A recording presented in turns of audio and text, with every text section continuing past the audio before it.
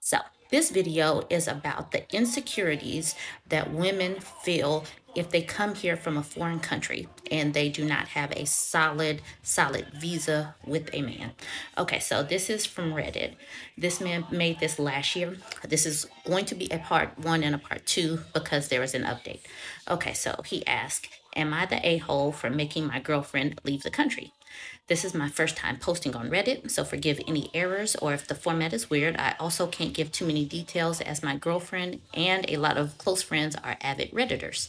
I, 28 year old male, have been dating my girlfriend, 27 female, for five years. We met in college where she was an international student. She started working after graduating while I am currently doing a master's.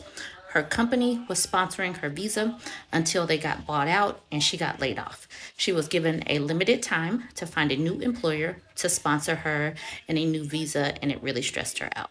She was applying for jobs every day and did a lot of interviews, but unfortunately wasn't able to get an offer. She really wanted to stay since she loves the place, and I would still be here um, in it. I'm sorry, in the country. And this is the reason why I'm not necessarily calling him a passport bro.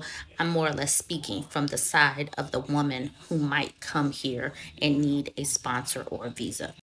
While I was out with the buddy, he suggested that I sponsor her visa since we have been in a relationship for quite some time. I love her and I didn't want to see her so stressed out, so I told her about the idea. She was hesitant at first. She said she didn't want me to think that she was with me so I could be with her to um, for permanent residence or citizenship to the country. I wanted her to stay and I wanted to do it.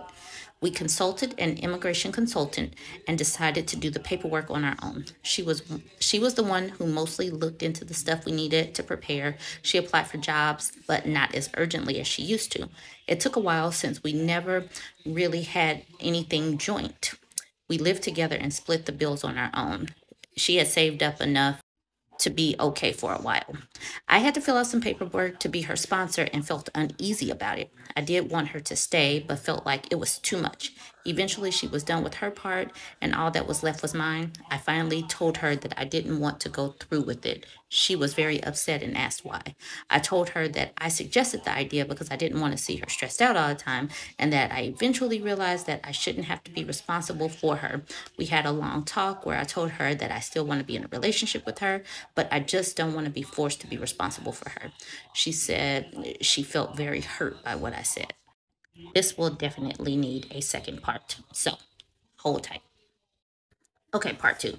Things changed and she didn't really talk to me after. She kept applying for jobs and attending interviews, but eventually her visa expired. Before she left, I told her I love her and I really want her to come back. However, she told me that she sees me differently after the things I told her. It has been a few weeks since she left. I miss her cooking, her presence, and being able to spend time with her. I still want a future with her. However, our close friends have been telling me that I was an a hole. I disagree, and I think they are biased. So here I am asking Reddit what it thinks. Am I the a hole? Edit.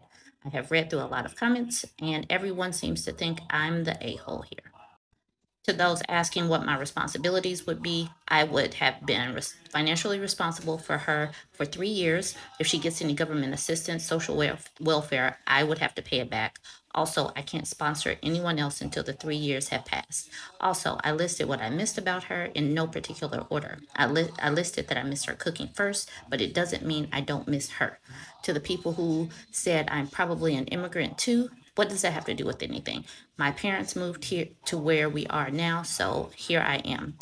I still stand by what I said. No one, um, no one I know has to do anything like this. It just doesn't feel normal. I would eventually um, have a home with her, but I don't think anyone should have to be responsible for another person's decisions or circumstances.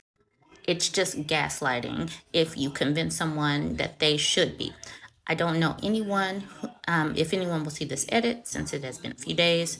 Okay, so that is part one. There was an update six months later. Hold. Okay, so this is an update a few months later.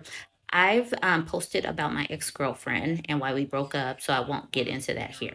We dated for almost five years before we broke up. A couple of weeks ago, I received a sum of money from my ex girlfriend. This happened while I was sleeping as we're in different time zones, so I only saw it when I woke up. A message was included with the deposit that said, Hope this helps pay off some of my student loans. It wasn't a huge sum, but still significant. So I tried to contact her, but I couldn't reach her. Fast forward to last week. A mutual friend of ours wanted to check up on how she was doing, but they couldn't reach her either. They Google searched her name and the country she was in. And through Google Translate, they found out that she had unalived herself. No one knows exactly when she died, but most probably soon after she sent me the money. And no one could find anything about a funeral either. She wasn't close to her family and didn't have that many family members in her country. Other friends found out about it too. And since then, everyone has been blaming me for his for her death. So he's devastated, and now he's asking um, how to get his life back. Is basically the rest of the the question. This was such a sad Reddit.